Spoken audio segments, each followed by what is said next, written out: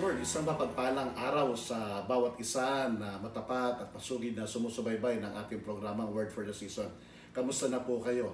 Alam ko po ng pag-iingat at pagsama ng Diyos ay patuloy po nating nararanasan sa bawat araw ng ating buhay. Kahit po tayo ay nasa extended uh, enhanced community quarantine, alam natin ang presence ng Diyos ay patuloy po nating nararanasan dahil ang Diyos ay nangako sa atin na kailanman hindi niya po tayo iniiwan at hindi niya po tayo pinababayaan. At ang pinakamainam po na nangyayari at nagagawa po natin ay ang napakahaba nating panahon no, sa ating pamilya at panahon sa pakikipagniig at panalangin. Kaya po sa araw na ay nais ko lamang po magbigay ng uh, ilang pagbabahagi po sa salita ng Diyos na matatagpuan po natin sa unang Samuel Kabanatang 3, pasimula po sa unang talata. O sa 1 Samuel chapter 3, beginning verse 1 up to verse 10. At tanong ko pong marami po sa atin ay pamilyar na pamilyar po sa kwentong ito kung paano ang Diyos ay nangusap at tinawag no ang uh, batang si Samuel na sa pangangalaga no ng uh, high priest na si Eli. Sabi po ng verse 1, The boy ministered before the Lord under Eli. In those days, the word of the Lord was rare, and there were not many visions.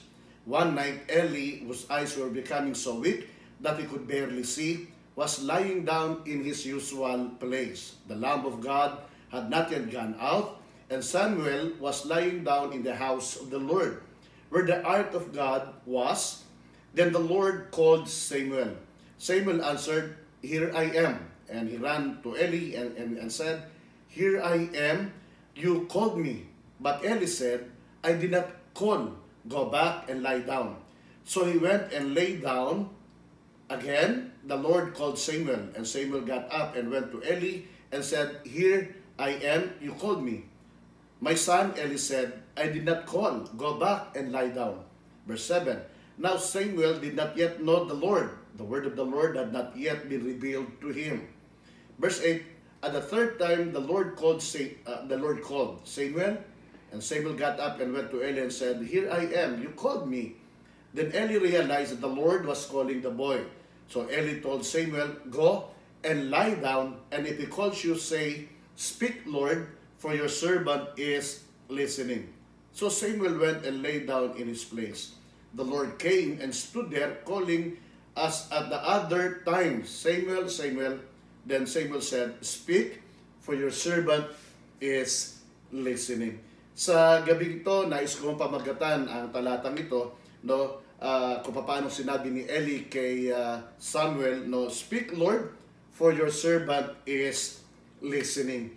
Naniniwala po ako ang sa na pinaka-positibo nating tingnan sa gitna po ng uh, uh, extended in enhanced community quarantine ay ang napakagandang panahon ng ating pananalangin at uh, pagdulog sa ating pong Panginoon. Marahil itong isa sa pinakamaganda nating tingnan na meron tayong napakaganda at mahabang panahon no, sa ating pong pag-commune po sa ating Panginoon, pakikipag-usap sa ating Panginoon, at ganoon din naman, ang Diyos ay mangusap sa atin. Naniniwala ko at alam natin na ang Diyos ay patuloy po no, na nagpapahayag at nangungusap po sa kanyang mga anak. Dahil uh, alam natin no, uh, uh, sa ganitong pangyayari, sa likod nito ay meron pong napakagandang mensahe ang Diyos sa bawat sa atin na tunay na kunikilala at nananampalataya po sa Kanya. Kaya ang sabi ko, no, ang pinakamaganda at positibo no, na pangyayari at nakita natin no, sa gitna ng pandemic o global crisis na ito ay ang napakagandang panahon. Sasama-sama natin pananalangin, pagkikipagniig sa Panginoon at dinggin natin no, ang mga mensahe ng Diyos no, sa ating buhay. Pero bago po tayo magpatuloy, guys, ko lang sabihin, uh, i-quote ito pong uh, sinasabi po rito. Prayer is a conversation. Not only do we need to talk to God, no? We need to learn how to listen to Him. Prayer is a conversation. Ulitin ko po, not only do we need to talk to God, we need to learn how to listen to Him. Sa ating pananalangin, alam po natin, ito ay pakikipag-usap natin po sa Diyos. Hindi lamang tayo ang nagsasalita, kundi inahayaan natin ang Diyos ay mangusap po sa bawat isa po sa atin. Sabi ko nga po, no, sa uh, quarantine na, na natin nararanasan, mahaba ang ating panahon sa pananalangin at pagsaba sa Panginoon at ang Diyos ay nakapangungusap po sa atin. Ngunit ang tanong ay, paano naman po ba tayo nakakapakinig sa ating Panginoon? maraming mga Krisyano no na uh, sinasabi na na para bang napakahirap na makinig po sa ating pong Panginoon no sabi nga this is one of the greatest mystery of our faith no na, na alam natin no ng Diyos no ay, ay, ay palaging nariyan handang duminig sa ating panalangin at nais ding magpahayag sa bawat isa sa atin all we need to do is to really open our spiritual ear and hear no the word of the Lord kaya nga lagi natin sinasabi no minsan ay uh, uh, tayo ay makakapakinig sa Panginoon no at hayaan natin ang Diyos ay makapangusap no sa bawat isa sa atin. No sa mga talata po na ating binasa katulad po ng karanasan po no ni, ni Samuel kung paano niya natutunan no mapakinggan no ang tawag ng Diyos sa kanya pong buhay. Ito'y napakagandang rin panalangin no na pwede nating hiramin no sa ating pong pananalangin sa ating Panginoon at mapakinggan natin ang kanyang salita at maunawaan natin no ang kanyang kalooban sa gitna no ng global crisis nito na nararanasan ng buong mundo.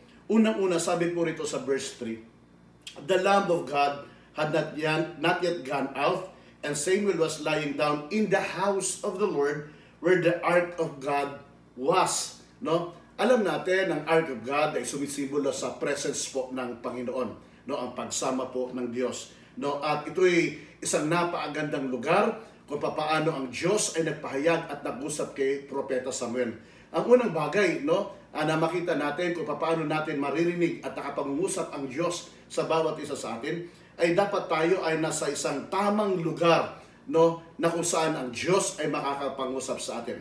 Be at the best place to hear from God. No, we really need to put ourselves in a place and a position where we can hear God most clearly. Kaya nga si Propeta Samuel, he heard no the very voice of the Lord for the very first time in his life. No sabi ganoon, he was uh, he was lying down in the house of the Lord where the ark of God was. Siya ay nasa ilalim no ng presence po ng ating pong Panginoon. Naniniwala po ako, ang Diyos ay nakapangungusap sa atin at handang magpahayag sa bawat isa sa atin. Sa panahon ito na, na ang, ang mundo ay nakararanas no, ng global crisis, ang Diyos ay meron pong mensahe no, na dapat nating maunawaan at ang Diyos ay nais mga, makapangusap. All we need to do is to really open our ear and listen to what the Lord really wanted us all to hear. Kaya nga si Eli, no, uh, yung kanyang mga anak that supposed to be no napapalit sa kanya, no, they've been wandering from God, no, uh, ninanakawan nila ang Diyos no sa pamamagitan ng ng uh, inuuna nila ang mga bagay na handog para sa kanila instead na para sa Diyos hindi sila nabuhay ng matapat sa Panginoon, no? At naroon yung kanilang mga arrogance. Kaya ang Diyos ay hindi nagpahayag sa mga anak ni Eli. So that's why no sa, sa 1 Samuel chapter 3, no verse 1, no that that God still no struggle to speak no to his people, no because no marami marami sa atin, maraming mga tao, maraming even maraming mga anak ng Diyos ay hindi po nasa tamang lugar o hindi po uh, handa no makapakinig no sa sinasabi ng salita ng ating pong Panginoon. Parang radyo yan eh, no? Minsan nasa isang uh, nasa isang uh, uh, istasyon ka kapag pinili, pinihit mo yung yung yung channel, no, mawawala yung una mo pinapakinggan at papupunta ka sa isang channel. Ganun din ganun din no ang Panginoon. Bagamat alam natin no na ang Diyos ay patuloy na nangungusap sa atin. No, ang Diyos no bagamat marami tayong marami tayong kaaway na pakinggan natin ang salita ng Diyos, pero ang Diyos ay patuloy nangungusap. No, kailangan lamang natin dalhin natin ang ating mga sarili sa tamang lugar at posisyon na mapakinggan natin ang salita ng Diyos. Manatili tayo no at ma, ma, ma, magkaroon tayo ng isang napakalalim no na fellowship sa presence ng Panginoon upang ang Diyos ay makapangusap sa atin at maunawaan natin ang kanyang kalooban at kagustuhan po sa ating mga buhay. Okay? Hindi ang ang katotohanan nito ay ang Diyos ang nangungusap. Ang Diyos ay patuloy pa rin nagpapahayag. Ngunit ang nakalulungkot, hindi po tayo minsan marunong makinig sa ating Panginoon.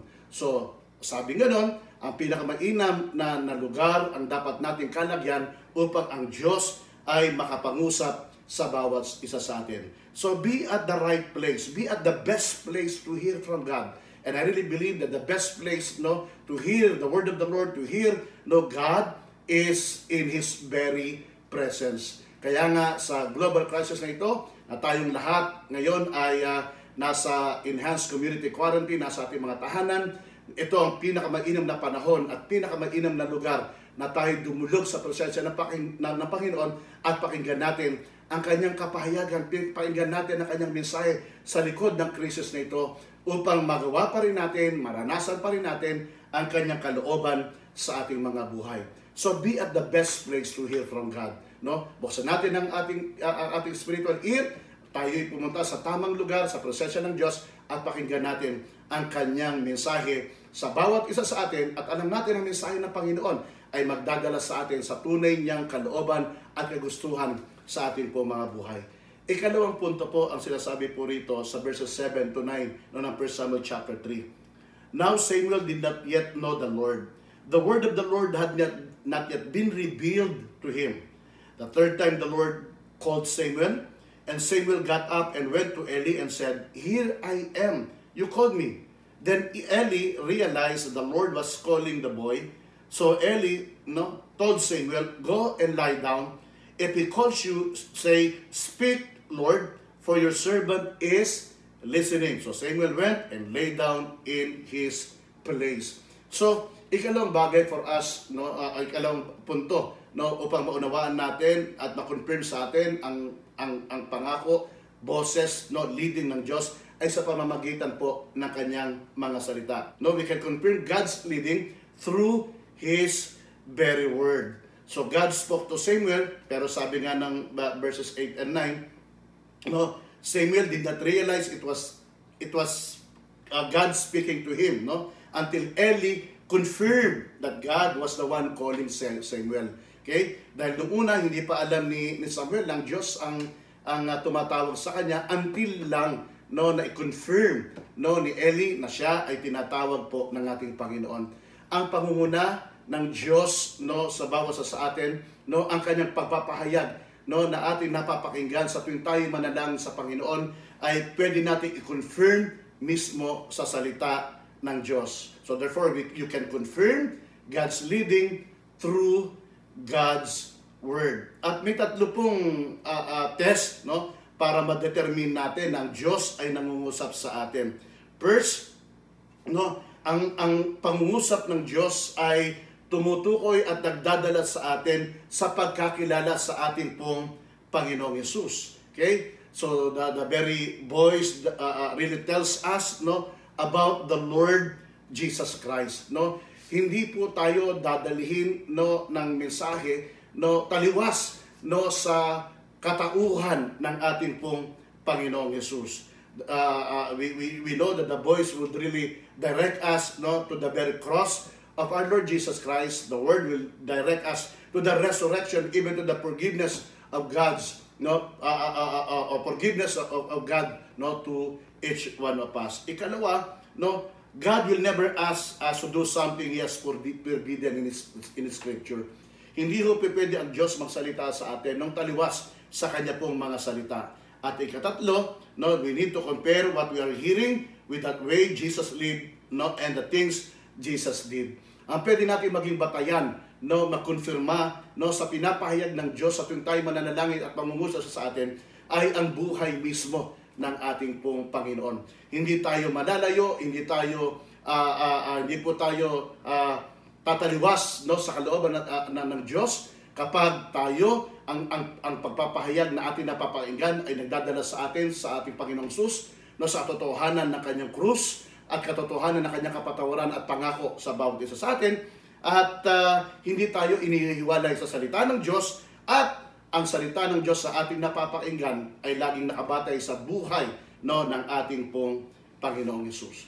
Ikatlumpung punto na nais ko pong ipahayag sa bawat isa sa atin, no, sa pangungu kapag ang Diyos ay nangusap sa atin, sabi ng verses 16 and 18, we need to respond with obedience. Respond with obedience. Sabi po ng verse 16, But Eli called him and said, Samuel, my son. No, Samuel answered, Here I am. Verse 17, What was it he said to you? Eli asked, Do not hide it from me. May God deal with you, and be it uh, ever so severely, if you hide from me anything he told you. No, so Samuel told him everything, hiding nothing from him. Then Eli said, He is the Lord, let him do what is good in His eyes. Matapos nating mapakinggan no, ang kapayagan ng Panginoon no, sa bawat isa sa atin kapag tayo dumudulog sa Kanya no, sa panahong ito ng krisis no, na dinadanas ang buong, mundo, ito'y nangangahulugan din ng dapat nating pagsunod. No, sa bawat pangako, sa bawat uh, leading, sa bawat pagpa, pangunguna ng Diyos at pagpapahayag sa atin, no, ang, ang katumbas nito ay no, kompleto nating pagsunod no, sa kanyang kalooban. No, so, dahil kapag hindi natin, hindi tayo nag-response na pagsunod no, sa ating Panginoon, mahirap na ho natin mapakinggan no, kung anong nais ng Diyos sa buhay natin. So for us to continually hear more of God's direction and God's Word, we need to obey, no? Kaya kailangan po tayong sumunod po sa kanyang mga salita. Lagi po tayong nariyan, la, la, lagi natin gawin ang bawat sa, sa atin na available upang tayo ay sumunod sa kanyang salita. At alam natin, ang salita ng Diyos ay magdadala sa atin sa katuparan ng kanyang kalooban at pangako sa buhay ng bawat isa sa atin. So nais ko hong ulitin noong tatlong punto kung paano tayo makakapakinig sa ating Panginoon. No, unang-una ay kinakailangan po nating ilagay ang ating sarili sa tamang lugar sa pakikinig ng kanyang mga salita. Be at the best place to hear from God. Secondly, we can confirm God's leading through His Word. And thirdly, sabi ganon, we need to respond with obedience. When the Lord speaks to us, no, we need to obey. Nice ko hong tapusin po ang ating pong sharing sa gabi ito sa pamagitan po ng reminder na ito. Ang sabi po ganon, the closer we get to the shepherd, the louder his voice. The more that we go closer and, and, and allow ourselves in, in the very presence of God, no, the louder we will hear his voice. Mamagulang mga kapatid, sa panahong ito ng global crisis, ano ba ang mensahe no, ng Diyos sa likod dito? Saan tayo dadali ng Diyos no, tungo sa kanyang kalooban sa gitna ng krisis na ito. Naway ang bawat sa, atin ay magpatuloy na magbukas ng ating padinig, ang digin natin ang salita ng Diyos, no, i-confirm natin sa kanyang salita at tayo ihanda natin ang ating mga sarili sa ating pong pagsunod. Manalangin po tayo ngayong gabi upang uh, hayaan natin ang Diyos ay magbukas ng ating puso, ating isip, ng ating tenga at patuloy na magpahayag sa atin para, para magawa para natin ang kanyang kalooban no, sa ating mga buhay kahit sa gitna no, ng global crisis na ito. Manalangin po tayo. Dakilang Diyos, maraming maraming pong salamat sa isang katotohanan na kailanman hindi niyo po kami iniiwan at hindi niyo po kami pinababayaan. Panginoon, sa gitna ng pagtatagumpay at maging sa gitna, Panginoon, ng krisis ng buhay, alam naming sinasamahan mo kami, alam naming ginagabayan mo kami at dinadala mo pa rin kami sa tungo, tungo sa pagtatagumpay ng buhay. Panginoon, sa panahong ito ng krisis na nararanasan ng buong mundo, hayaan mo ang iyong mga anak ay mapatuloy pa rin sa lalim ng pananalangin at pagsamba. Ibukas ang aming mga sarili, Panginoon, sa mga mensahe, katotohanan na, na nais mong maunawaan namin sa gitna ng global crisis na ito sa pangalan po ng aming Panginoong Sus. Tuluan, tuluan mo kami, nabuksan namin ang aming mga pandinig at, at handa naming dinggin ang iyong mga pahayagan, ang iyong mga salita upang ang bawat sa amin ay hindi malinlang ng kaaway at manatili kaming mabuhay sa gitna lamang po ng iyong kalooban. Lord, ang iyong salita, ang iyong kapahayagan o Diyos, ang seguridad ng bawat sa amin na kami mananatili lamang Panginoon sa iyong kalooban at mananatili pa rin mapagtagumpay at pagtatagumpayin kahit sa gitna po, Panginoon, ng krisis nito.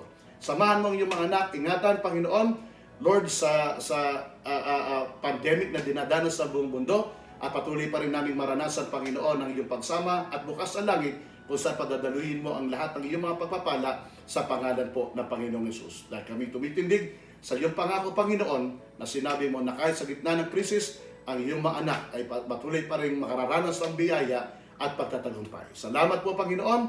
Palahin mong lahat. Ito ang aming dalangin sa pangalan po ng aming Panginoong Yesus. Amen. Praise the Lord! At patuloy po tayong manatili sa ating mga tahanan at patuloy po tayong mag-ingat. No, ang gabay ng Panginoon ay ating pong maranasan sa pangalan po ng Panginoong Yesus. Pagpalain po kayong lahat ng ating Panginoon.